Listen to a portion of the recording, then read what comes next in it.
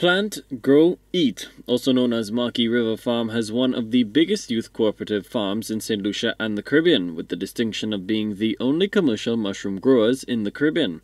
The company was deeply affected by COVID 19 and had to lay off staff and diversify its operations.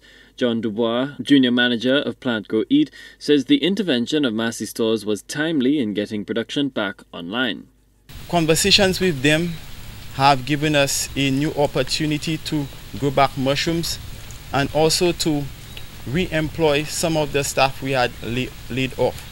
So now we are planning to produce one ton of mushrooms per week to supply to Massy, therefore satisfying our members in the communities.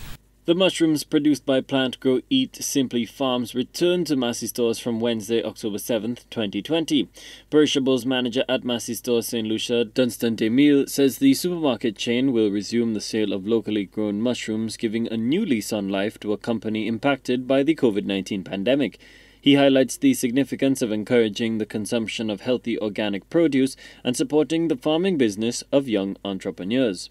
We decided that we will work with Plant Grow Eat to ensure that they go back into the mushrooms production and we try our best to increase the capacity on our shelves, making you know our population gravitate a lot more towards it because here's a, a, an organic product that is produced in St. Lucia that is of great quality. We are really hoping that St. Lucia come out and support because um, you see it's young persons working here and it would really help the community too because it creates employment for some persons.